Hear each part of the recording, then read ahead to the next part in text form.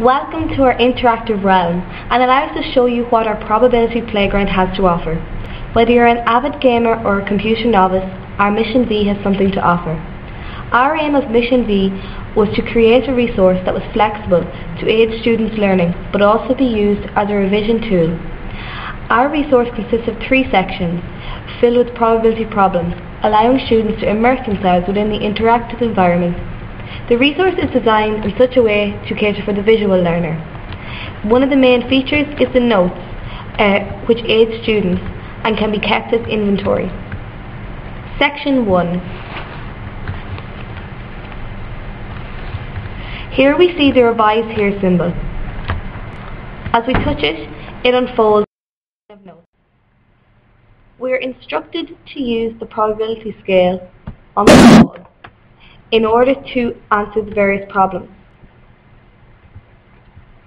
For example, uh, a baby is born either a boy or a girl. The answer to this is a probability of 0.5. Now the board turns around showing the reasoning for the answer. This is to aid differentiated learning. This section is aimed to relate to students' everyday life through various problems uh, and building on what they know to stretch outside the zone of proximal development.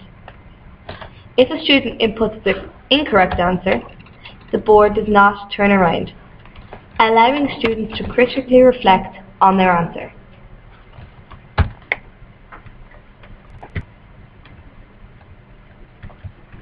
In the second section, we see large spheres full of small, different coloured balls, which resemble lottery machines.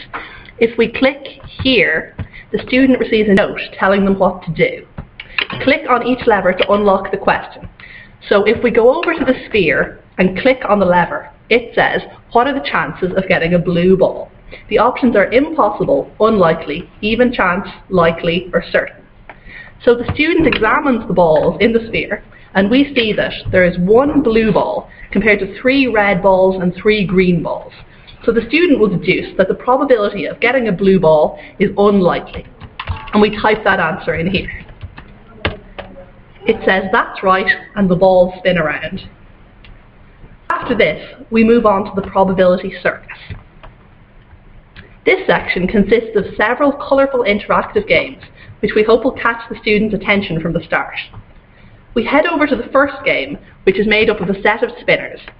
Before the student begins the section, they can revise here. And we have a reminder of how to calculate the probability of an event. If the student approaches any of the spinners and clicks on them, it will spin and land on a random colour. The question for this particular spinner reads, what is the probability of landing on a red colour? The total number of possible events is 3, and two of them are red, so the student inputs 2 over 3. The next game involves coins. These coins can be flipped and are programmed so that the probability of getting a head or a tail is 0.5. The students can interact with these and see that if they flip the coin only a few times, the frequencies of heads and tails come up are not likely to be equal. However, the more times they flip the coin, the more likely the frequencies are to even out. Last part our session is aid the visual learner to assess the probability of obtaining even number, odd number and individual numbers. In this section, students are encouraged to work independently, therefore promoting independent learning. Students will roll the dice, which will give them random numbers, allowed to test the hypothesis that the probability of getting each number is 1 over 6. This will encourage students to tabulate their results and see if the hypothesis is correct. It is suggested the teacher reflects on students' results and stimulate them with questions. This will make students critically reflect on their work. To conclude, we felt that our Mission V project was carried out to the best of our ability. We feel that it is a useful resource that could be used in many classroom settings. If we were to do this module again, I think we would have a more positive outlook on the idea of game-based learning from the start, and we would have been more realistic in what we could achieve in the time given. We would have spent less time on perfecting our resource and more time reflecting upon the experience as a whole.